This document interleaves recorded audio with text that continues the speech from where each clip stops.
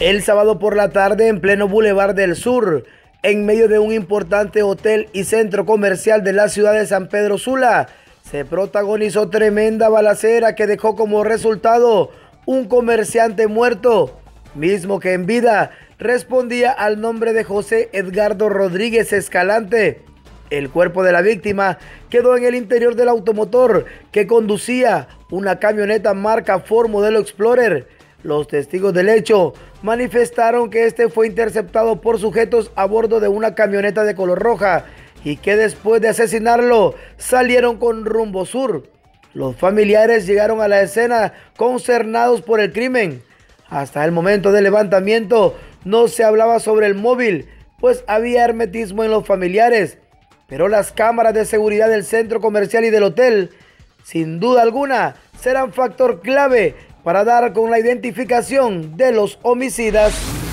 Más tarde en la colonia La Amistad de San Pedro Sula fue asesinado el ganadero Miguel Galo Amaya de 36 años de edad.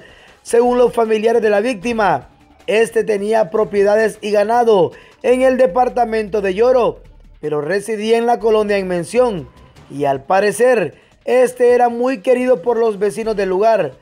Según relataron, Anoche la hora Oxiso había salido de su casa a comprar alimentos a unas dos cuadras de su vivienda cuando sujetos desconocidos le atacaron a balazos sin mediar palabra.